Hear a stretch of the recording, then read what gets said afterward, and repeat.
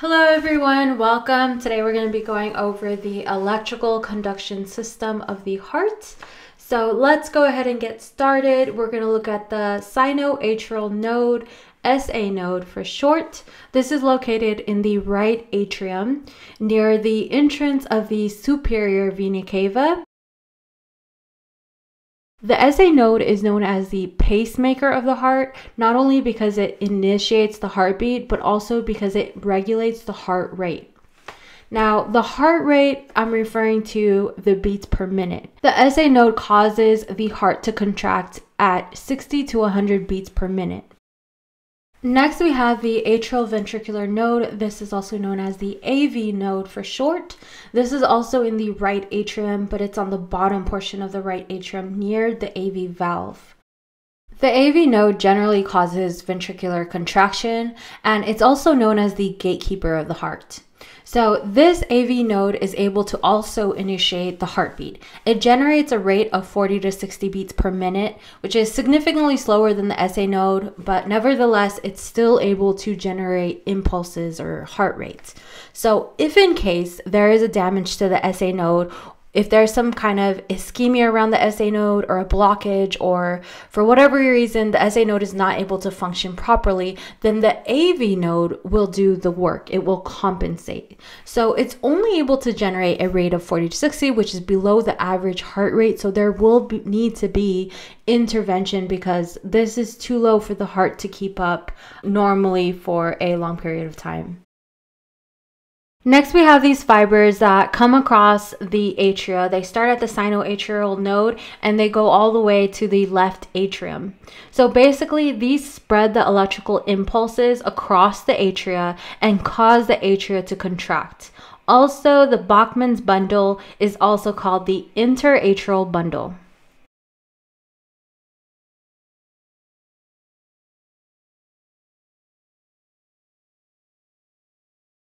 Also coming off of the sinoatrial node are your internodal tracts. So technically there are three. If you want to be a nerd, you can learn them. The job of these internodal tracts is to spread the impulse from your SA node to your AV node. Once the impulse reaches the AV node, it is delayed here before it moves on to the bundle of His.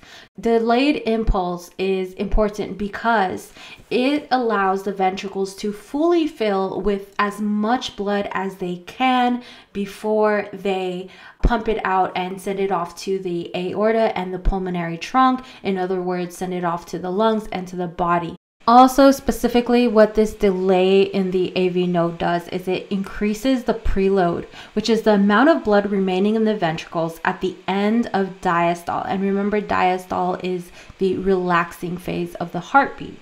So, an increase in preload is eventually going to lead to a greater cardiac output. And cardiac output is referring to the, the volume of blood ejected by the heart each minute. So, an increased cardiac output is just going to be more efficient in filling the needs of the body and the amount of blood that it gets. So, it's just going to send out more blood to the body. So, for example, if there was a problem with the delay in the AV node and the ventricles don't get to fully fill up with blood, then they're going to be squeezing out into the body and into the lungs. They're going to be squeezing out a very small amount of blood, and this is eventually going to interfere with all of your organ functions and everything in your body because it's not going to have enough uh, an efficient amount of blood. So moving on here, after the impulse goes to the AV node, it's going to be sent to the bundle of His. So the bundle of His is located in the interventricular septum and it branches off to the right bundle branch and the left bundle branch. So right bundle branch is going on towards your right side of your heart and left bundle branch is going towards your left side of your heart. And lastly, we have our Purkinje fibers. These come off of our right and left bundle branches on both sides of the ventricles. These are capable of generating impulses of less than 40 beats per minute. Now, this only happens if the SA node fails and the AV node fails, then the Purkinje fibers are able to generate their impulses. Now, it's not very much, and obviously, the person who has um, you know, a heart rate of less than 40 needs serious intervention, but still, we're very thankful for the Purkinje fibers because they can really save the day even with their small impulses.